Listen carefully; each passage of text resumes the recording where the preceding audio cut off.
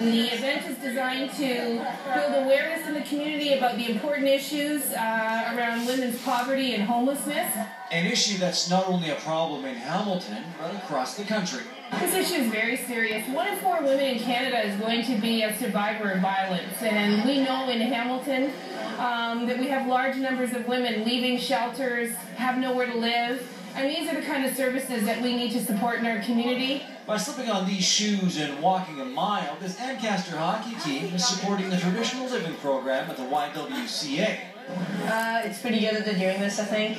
It's helpful, and it's fun. Yeah, yeah, it's great to see. You know, when we proposed this uh, three or four weeks ago, it was kind of intimidating, and, you know, uh, to get a bunch of 13 and 14 year old kids out like this is uh, pretty encouraging. This is the third annual Walk a Mile in Her Shoes event. 150 men are expected to slip on some high heels like these babies and go for a stroll. That's not bad. I'm getting used to it. I'm just afraid of stairs and cracks in the road.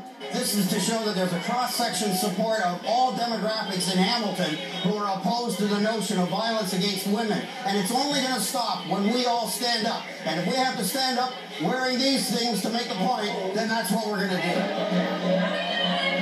Led by local celebs Lisa Hafner and Andrew Garrier, the crowd proudly strutted their stuff in heels up James Street North. Members of Hamilton's police and fire departments showed off their legs as well. Uh, feels a little shaky, but uh, I'll get used to them. Adam Atkins, CHCH News.